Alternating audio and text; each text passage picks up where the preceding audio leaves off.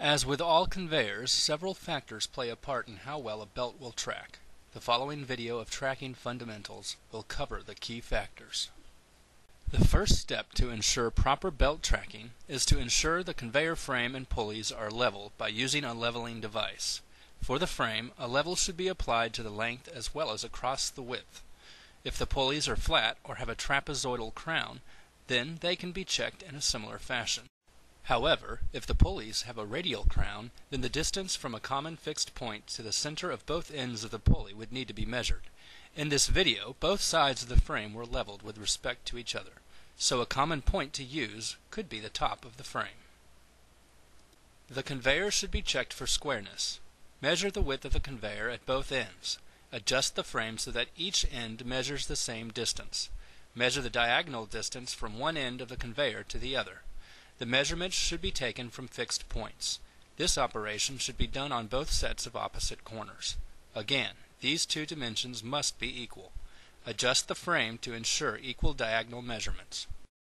Verify that the pulleys are parallel. This is done by measuring the center to center distance between the rollers. This value must be the same on both ends of each pair of pulleys measured.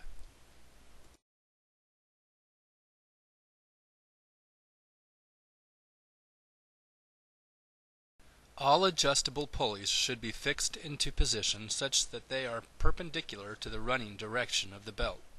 The tensioner and or take-up pulleys should be in the full retracted position. Apply proper initial tension to each edge of the belt. If the belt is tracking to one side, adjust one side of the tracking rollers in small increments until the belt tracks into the desired position.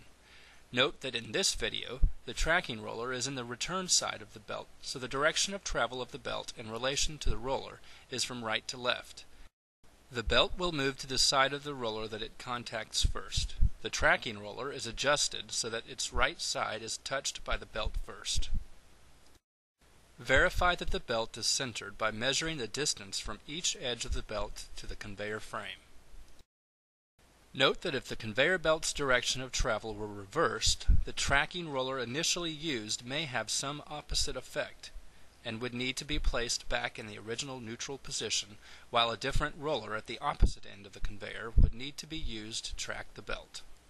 Proper belt tracking is essential to the effective operation of an installation. Since the belt moves in response to component alignment, it's important to regularly maintain the installation to keep the belt operating at its best.